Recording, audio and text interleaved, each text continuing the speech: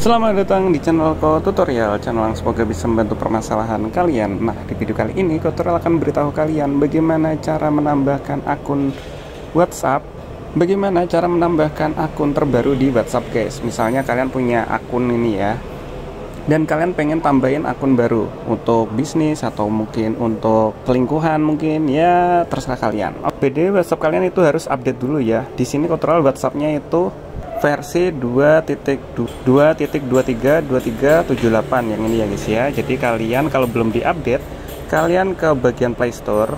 Setelah itu kalian ketuk di bagian pojok kanan atas ada gambar logo kalian. Kalian pilih di bagian kelola perangkat dan aplikasi. Nah udah deh. Kalian tinggal update semua.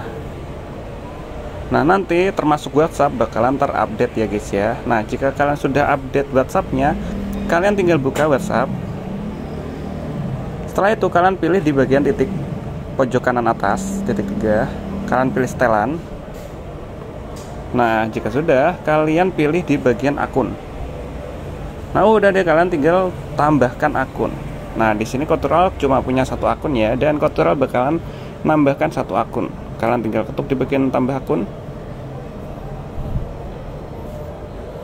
Nah udah deh seperti halnya buat Facebook Nah udah deh seperti halnya buat WhatsApp baru kalian tinggal setuju dan lanjutkan.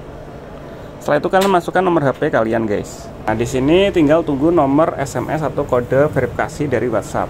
Karena di sini kebetulan nomor HP-nya kotoral-kotoral pakai di dual SIM, SIM kedua. Jadi WhatsApp-nya otomatis bakalan masukkan kode verifikasi secara otomatis.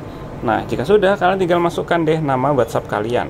Sebagai contoh di sini ke tutorial bakalan kasih nama ke tutorial.